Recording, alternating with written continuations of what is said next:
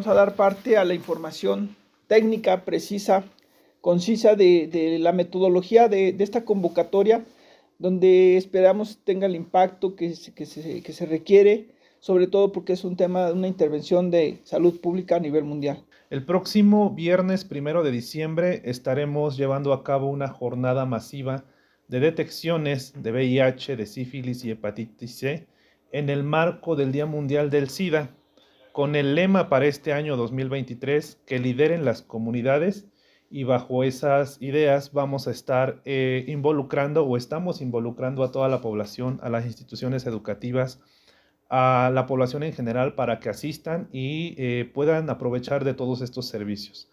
Además de la jornada que se va a estar llevando a cabo en, este, en un horario de 9 de la mañana a 5 de la tarde, estaremos brindando información, asesorías sobre eh, sexualidad responsable, sobre uso correcto de eh, insumos como condones masculinos o femeninos.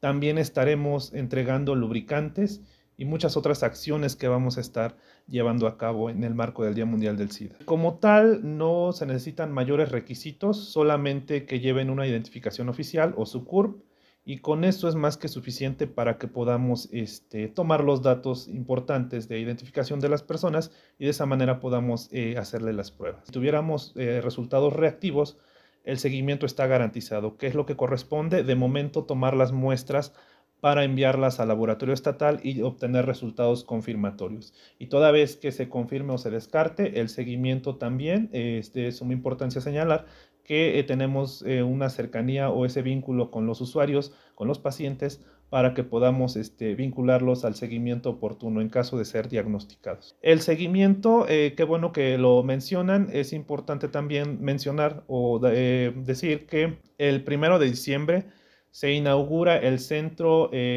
un servicio de atención integral hospitalaria para personas con VIH.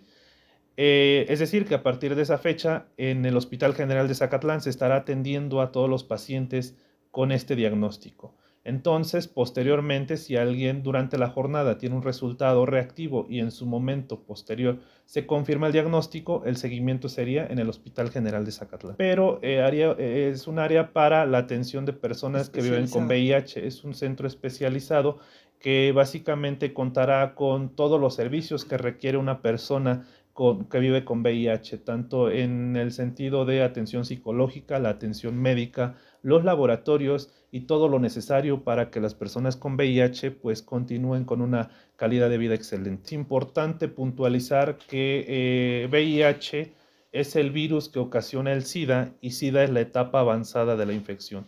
Todo este espacio que nos dan para que la población sepa que estamos cambiando las formas de pensamiento y cómo estamos eliminando estigmas entre este y otros padecimientos. Plataformas digitales.